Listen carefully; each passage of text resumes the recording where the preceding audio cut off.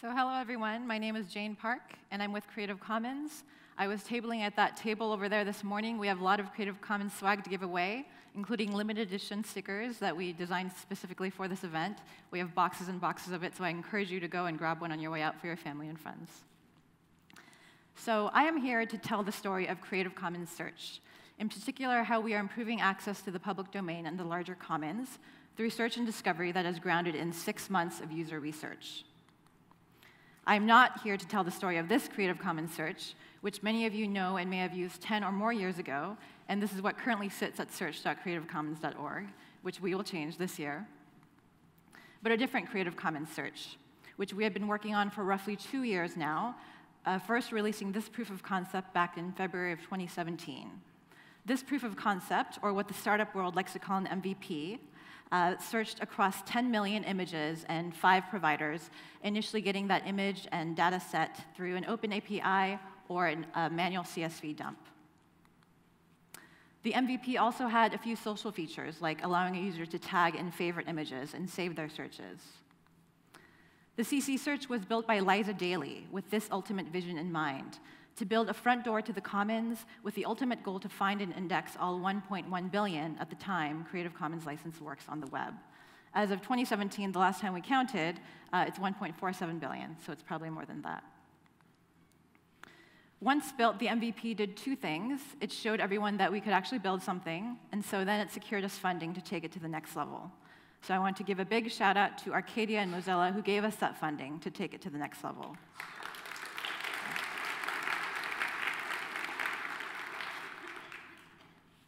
So with that funding, we hired Paola Villarreal as our Director of Product Engineering in late 2017. And we started building the next iteration, which would be this beta, which we just released this past September. Under Paola, the ultimate vision for Creative Commons search stayed largely the same. We still wanted to catalog the entirety of the commons and eventually serve it up in meaningful and relevant ways for users. Paola's approach towards this vision was to do so in a sequential way, First, by laying the groundwork through a Creative Commons catalog, which would serve as a core database of content. Her approach was to initially focus on quantity over quality, to build up the universe of CC works through a combination of the Common Crawl dataset and open APIs from providers, so that, so that eventually, once the corpus of content became large enough, she could then shift her focus to quality efforts, such as curation. While Paola was leading this effort, I was carrying out the first large-scale user research project that Creative Commons has ever undertaken. In the span of six months, we talked to a ton of people, over 80, and then we also surveyed 36 existing interviews. And we talked to them about their motivations, their behaviors, their problems, and their ideal outcomes for sharing content online, with and without Creative Commons licensing. The research yielded nine key insights one of which validated our earlier hypothesis for building Creative Commons search in the first place. And that insight was that people want to share and find good work, but find it difficult to navigate the abundance of content and information online. You might think that this one's a no-brainer, but the difference was that this time we had actual data to back, up, back it up instead of just conjecture. We had 117 people telling us the same problem and need to Creative Commons, the organization.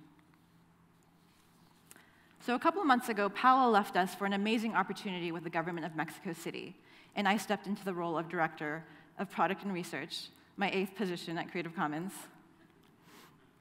And just this past month, we welcomed a new Director of Engineering and a front-end engineer, and the CC Search team now consists of five people as of January 1st, Kriti, Sophine, Alden, Breno, and myself. Um, and they are all very delightful and very talented, um, and I'm very glad to be working with them.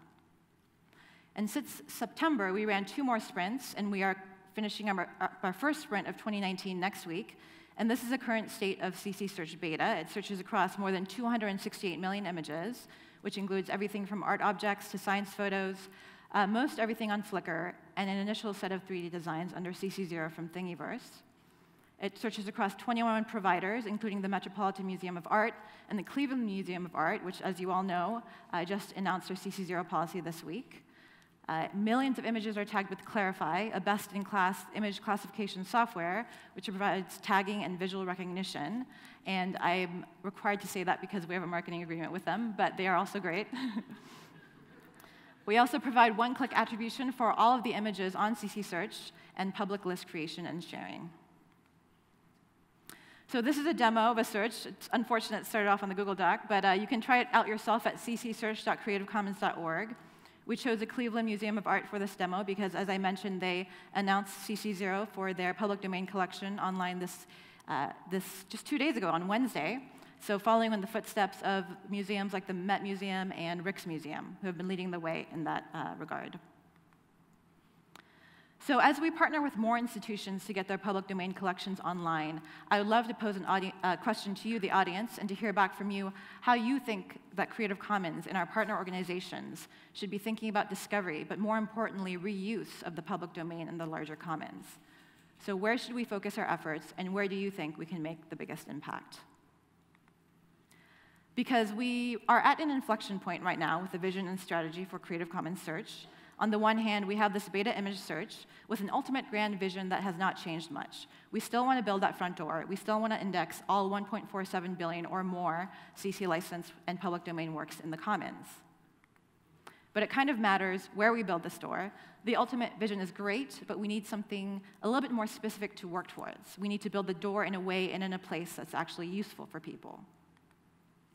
So on the other hand, we now have actual data and user research to help us get more specific. We're going to start with a vision for Creative Commons Search one year out, which will integrate the other eight key insights from user research, which you can read all about at this link, bit.ly. It's my post on the user research we did over six months. But as a preview, I will, um, and as food for thought, I'll go over a couple of them here that we're thinking of including in CC Search or already have.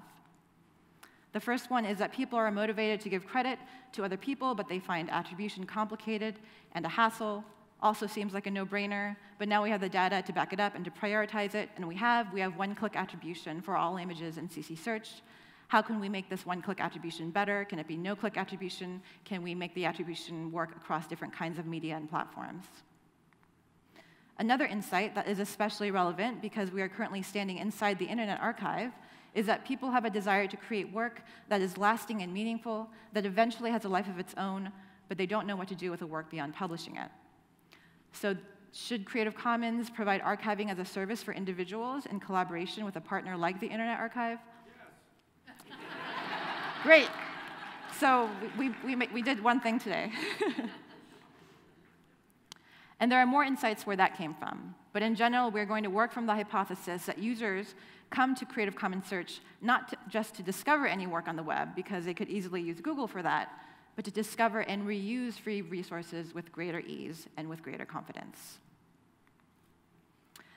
So we are going to be publishing our new vision and strategy for Creative Commons Search next month, uh, which will have a lot more detail and specific user groups prioritized. But in the meantime, what you can do is join us um, on Slack at Creative Commons, the CC Usability channel, where we have Feedback Fridays every Friday of, a, of an active sprint, which is one going on right now. And you can also just shoot me a note at jane at creativecommons.org. It's an alias. I can shut off access to the email anytime if I think I'm getting overloaded, so feel free to email me. but thank you, but thank you especially to these creators of CC license and public domain works from the Commons that are used for this talk.